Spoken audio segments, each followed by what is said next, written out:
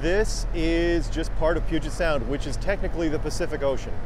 This Right. is where the Pacific Ocean meets the northwest corner of the United States.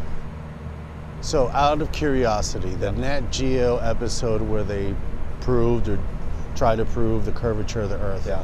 What are your thoughts on that? I was there. I was one of the few people that was there live on the water at the Salton Sea in Southern California.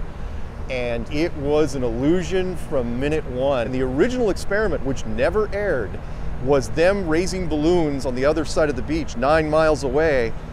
We could see them with our cameras. The whole point of the experiment was they were going to raise the balloons until they could see them. It's like, no, you don't have to raise the balloons at all. We can see them right there Right. at sea level, at Right. Salton level. Right, wow. And it was fantastic. Not blaming the production team. They sent all the footage to New York, mm-hmm. but New York said, nope, we're not going to use it. We're going to use our backup footage, which is the raft in the middle of the water, which was, they, in fact, when you when you watch the segment, it's like, you, it doesn't say how, how far the raft is. It doesn't say how high, what the stripes represent. It's like, no, we're just going to rapid fire it really, really Sure. fast, and then hopefully people forget this. Yeah.